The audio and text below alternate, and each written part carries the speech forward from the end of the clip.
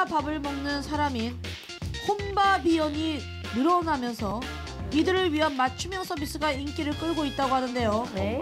혼밥이연들의 고민을 한 방에 해결해주는 이 서비스는 무엇일까요? 혼밥을 먹는 사람들에게 하는 서비스면 누가 같이 그러면 화면으로 밥을 같이 먹어주나요?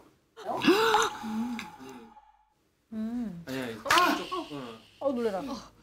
반찬을 팔라고 하는 거야. 집밥이 먹고 싶어 내가. 어. 근데 도시락이나 이런 밥 말고 집밥이 먹고 싶은 거야. 그러면 뭐 형 집에서 뭐 두부조림 같은 거를 천 원씩 사는 거야. 그리고 뭐 경훈이 어머님 해주신 무슨 김치찌개 이런 걸 사는 거야. 아 가정식을 먹고 싶어서. 어, 그 집밥 서비스를 집밥. 내가 본 거 같거든. 그러니까 아, 그거 아니에요. 저 예전에 옥탑방에서 나온 문제 중에 혼자 사는 사람 잠자리를 러시아. 데워주는, 데워주는 러시아에서 네. 있는. 그것처럼 누가 이제 다 사서 차려주는 거예요.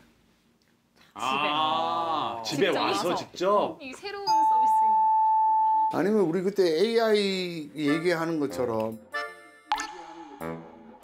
뭐 앉아놓으면 맞은편에 이렇게 앉으면 마- 대화를 해주나? 또 그런 건가 그러면 ASMR처럼 뭐 우리 잘 때 재워주는 ASMR 음. 같은 거 있잖아요. 그것처럼 밥 먹을 때 자 한 숟갈을 드세요. 한 숟갈을 드세요. 명상이. 아, 먹습니다.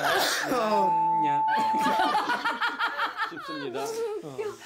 형돈이 토크 누가 막았지?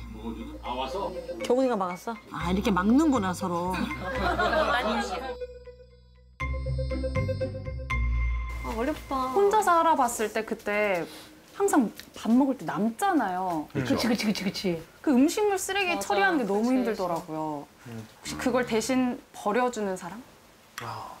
버려주는 서비스. 아니면 그